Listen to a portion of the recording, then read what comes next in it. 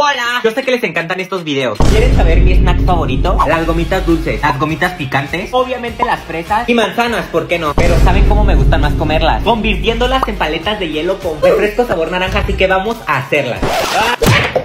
¡Ah! Salieron volando los vasos. Vamos a hacer tres. La primera le echamos gusano que se come. Después Fanta.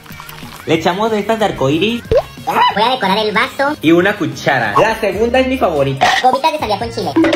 Fanta, poquito chamoy, gomitas de mango. Y poquito chile en polvo. Ay, esta huele bien rico. Para la última, si les digo que no sé partir fresas. Le ponemos fresas, Fanta. Las metemos al congelador. Están listas. Trae todas las gomitas ahí. Ay, está deliciosa. La de fresa, está muy refrescante. Háganlas y me dicen qué tal.